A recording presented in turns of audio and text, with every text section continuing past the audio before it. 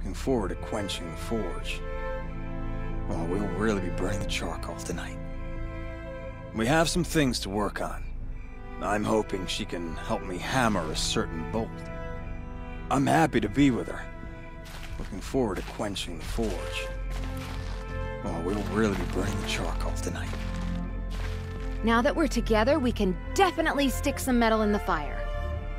It's already pretty hot. Maybe we can forge something right here.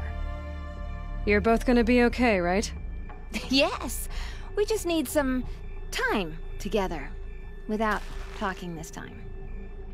Sometimes when I'm really getting into smelting, I straddle the anvil.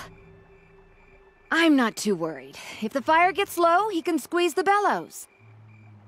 Now that we're together, we can definitely stick some metal in the fire.